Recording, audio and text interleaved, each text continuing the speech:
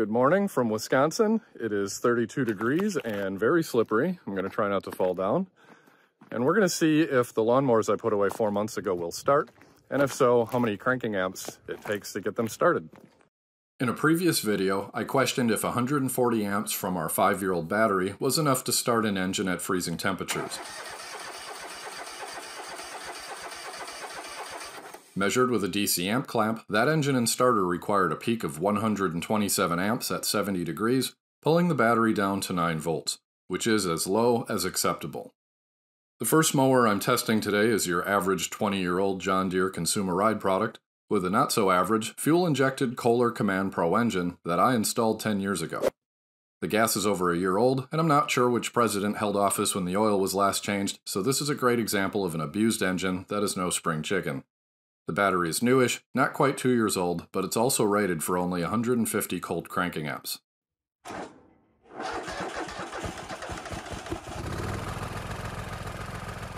It sounds pretty terrible, with an obvious misfire, lifter noise, and maybe an exhaust leak, but it did start without much drama. Let's go back and take a look at peak starting amps.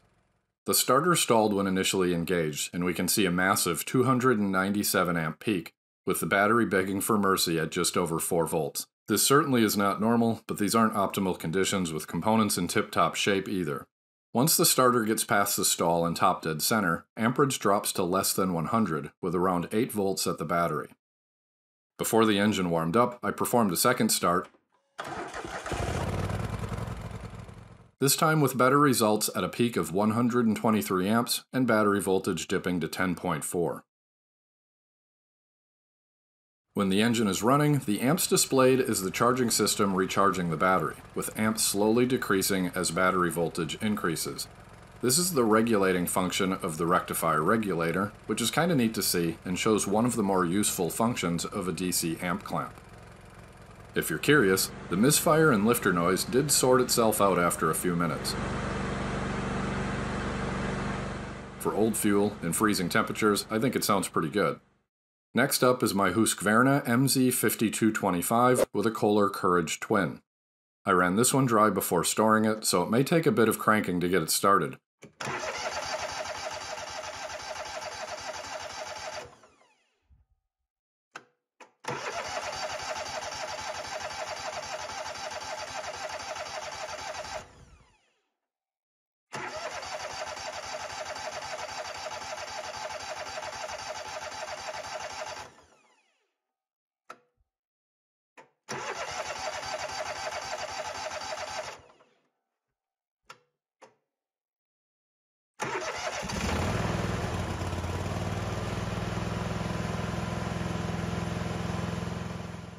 On the third start attempt, amps momentarily peak at 203, with battery voltage dipping to just below 10 volts.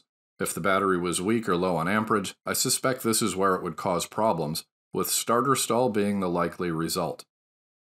Twin-cylinder Kohler engines with electric start only have no automatic compression release mechanism.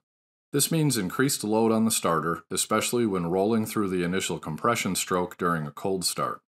Any weakness from the battery or increased resistance from cable or connection problems will increase the likelihood of starter stall. Once past the initial compression stroke, cranking amps hover around 120 with battery volts holding at 10 or more. I think these are good numbers, especially considering the freezing temperatures and extended cranking. When the engine starts, the charging system kicks in and the rectifier regulator peaks output at a measured 14 amps perfectly normal for this 15 amp charging system. The Kohler service manual recommends 400 cold cranking amps for starting in all conditions, and our test today proved that to be true. This means the 200 cold cranking amp minimum is likely to be insufficient under certain conditions, especially for twin-cylinder commercial engines. This leads me to believe our 5-year-old battery at 140 amps wouldn't do so well in the cold, likely resulting in starter stall or at least labored cranking. If you learned something from this video, please hit the like button and subscribe. Thanks for watching.